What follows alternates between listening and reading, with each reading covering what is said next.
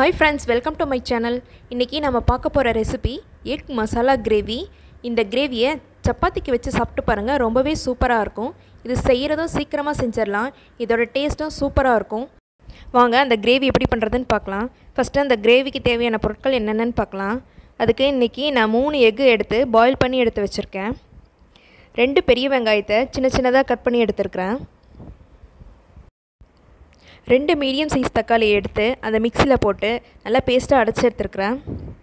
ஒரு டீஸ்பூன் இஞ்சி பூண்டு பேஸ்ட் கொஞ்சம் மல்லித்தலை ஒரு டீஸ்பூன் வரமிளகாத்தூள் கால் டீஸ்பூன் மஞ்சத்தூள் எடுத்துருக்குறேன். உங்களுக்கு காரத்துக்கு எவ்வளோ தேவையோ அதுக்கு தகுந்தாப்பில் எடுத்துக்கோங்க. எக்கில் ஒயிட் தனியாக எல்லோ தனியாக பிரித்து எடுத்துக்கலாம். பிரித்து எடுத்ததுக்கப்புறம் ஒரு நைஃப் வச்சு அந்த ஒயிட்டெல்லாம் குட்டி குட்டியாக கட் பண்ணி வச்சுக்கோங்க.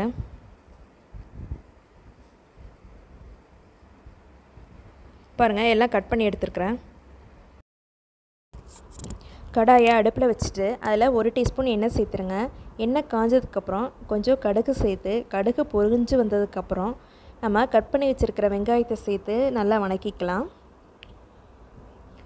மீடியம் ஃப்ளேம்லேயே வச்சு நல்லா வணக்குங்க. வெங்காயம் பாதி அளவு வணங்கணும்.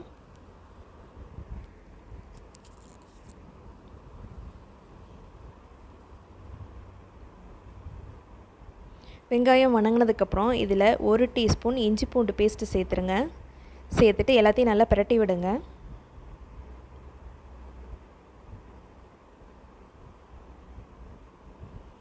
இஞ்சி பூண்டோட பச்சை வாசனை போனதுக்கப்புறம் இதில் நம்ம அரைச்சி வச்சுருக்கிற தக்காளி விழுதையும் சேர்த்துடலாம்.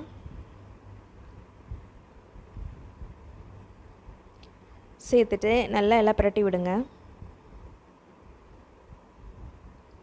பிரட்டி விட்டதுக்கப்புறம் இந்த கிரேவிக்கு தேவையான உப்பு இதில் சேர்த்துடலாம்.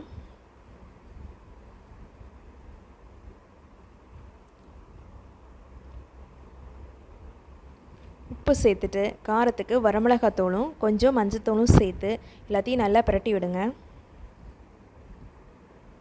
இது எல்லாம் நல்லா வணங்கி வரட்டும்.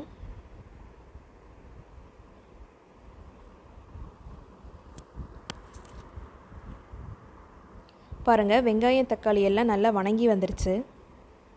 இப்போது நம்ம கட் பண்ணி வச்சுருக்கிற எக்கு ஒயிட்டை மட்டும் முதல்ல சேர்த்துக்கலாம்.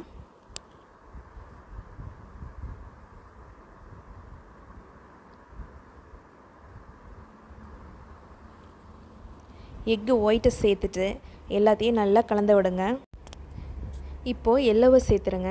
சேர்த்துட்டு எல்லாத்தையும் நல்லா பிரட்டி விடுங்க. கரண்டியில் மசித்த மாதிரியே நல்லா புரட்டி விடுங்க.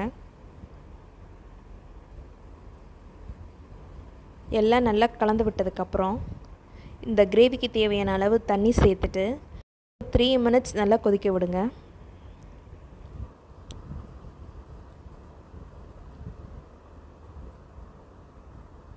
பாருங்கள் கிரேவி நல்லா கொதிச்சு வருது. இப்போது கொஞ்சம் மல்லித்தலை தூவி அடுப்பை ஆஃப் பண்ணிடலாம். சூப்பரான கிரேவி சீக்கிரமாக ரெடி பண்ணியாச்சு பாருங்கள் நீங்களும் இதே போல் செஞ்சு பார்த்துட்டு எப்படி இருந்ததுன்னு எனக்கு சொல்லுங்கள் இந்த வீடியோ பிடிச்சிருந்ததுன்னா லைக் பண்ணுங்கள் ஷேர் பண்ணுங்கள் என்னோடய சேனலை சப்ஸ்கிரைப் பண்ணாமல் இருந்தால் சப்ஸ்கிரைப் பண்ணிக்கோங்க.